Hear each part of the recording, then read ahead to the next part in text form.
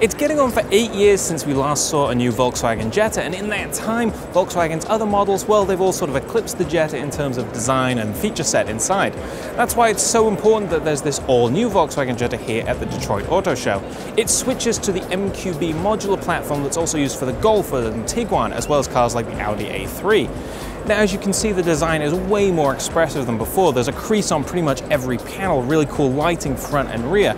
It's got a slightly more sloping roofline, almost like the larger Volkswagen Arteon that's already on sale in Europe.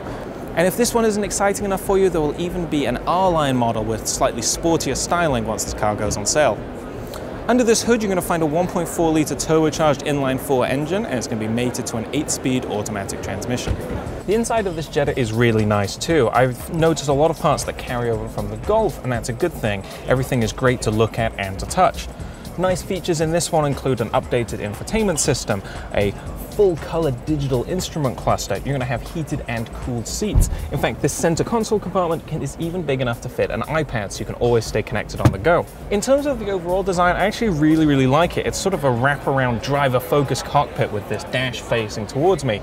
Everywhere you look, there are angular polygon shapes everywhere and it's a very modern stylish look. Now I don't have exact head and legroom measurements just yet but because the Jetta is longer and wider than the one it replaces it certainly feels like there's a lot more space for me sitting in the back seat and that's always an important consideration for people who buy compact sedans. This isn't a far off car either. The Volkswagen Jetta will be on sale by the middle of this year and Volkswagen says it's going to start under $19,000 so pretty much a similar pricing strategy as the current one.